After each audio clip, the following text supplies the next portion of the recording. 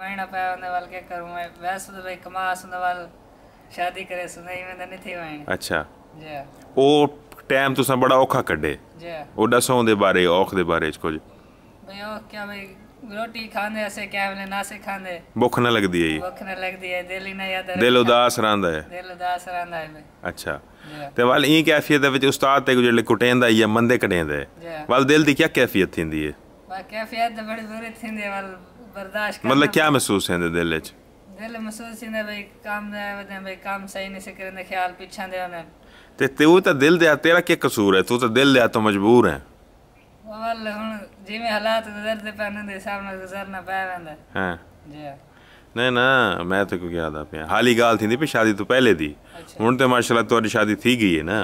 ਹੁਣ गाल पहले दी थींदी पई आहे उहो वेले त तेरा ध्यानु मैं आंदा हुअमि वर्कशॉप में कोई यादि है ते तेरा ध्यानु आहे उस्ताद ते कोई हिकु ॾुल्या ॾींदा ई ते वाल कीअं महसूसु थींदा ई महसूसु थींदा आहे भई कोई कसूर हूंदा आहे कंहिं वेले न हूंदा हा साथ में भई कोड ॾींदा आहे हा ते उस्ताद क्यों कोड ॾींदा आहे क्या रोल आहे कंहिं वेले ग़लती थी वेंदी आहे कंहिं वेले न थींदी आहे कंहिं बैच वर्क और ग़लती थी वञे साथ में गुस्सा आ वेंदा आहे वाल साथ में जहिड़ा वाल कमु ख़राब जंद कोल थी वञे हूंदी वाल मारू को पए वेंदी आहे ਕਾਵੜ ਕੀ ਰਹਿੰਦੀ ਤੇ ਲਾਵਣੀ ਕਿਉਂਕਿ ਪਾਣੀ ਹਮੇਸ਼ਾ ਰੇੜ ਵਾਲੇ ਪਾਸੇ ਵੇਂਦੇ। ਇਵੇਂ ਗੱਲ ਹੈ।